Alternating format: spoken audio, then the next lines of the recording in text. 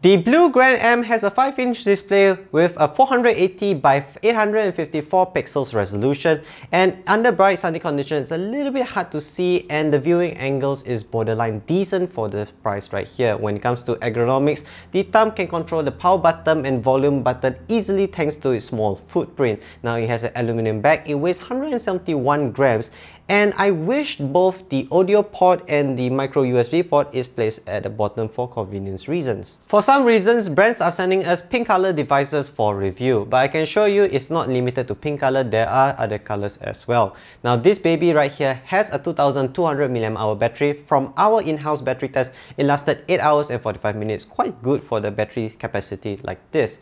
Now the front camera right here is 3.2 megapixel and the rear camera right here is 5 megapixels. I wish it was 8 megapixels just to keep with today's standard. Both the front and the back has also flash to illuminate your subject and yourself. Now the camera for this price is borderline decent and good for its price.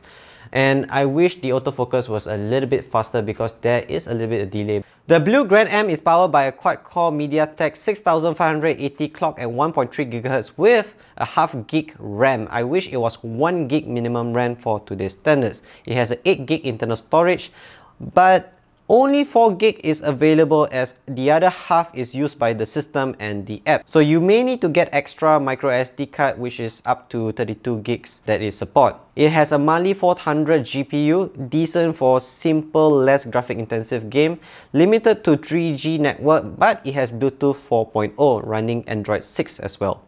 This baby is priced at 369 ringgit. It's a little bit too steep for my preference. And there are a lot of budget phones with better specs. It's priced much lower than this baby right here. Maybe because it's branded, because of Miami, it's from US and so on, the brand. But one of their selling points is the two-year warranty, the first year being the one-to-one -one exchange. So maybe you may want to get that since, since this phone will be likely used by kids school kids because you don't need to buy them iPhone 7 and Samsung 8 expensive 3000 ringgit phones. You just get them a 300 ringgit phone. They can use it to WhatsApp and call and SMS their parents or their caretakers. If they lose the phone, too bad. I'm going to buy you the similar one which is priced the same. Or in case you break the screen, you do this damage or whatever damage, it's a one-to-one -one exchange and there is two-year warranty total. So leave your comments below what do you think about the BLU Grand M right here. I have better interest reviewing the Pure XR because that one has a better camera and I want to review it. So comment below what do you think about this smartphone, this budget smartphone. Share this video on social media, like and subscribe and check out our other reviews. See you guys in the next video. Now I shall eat more marshmallows for breakfast.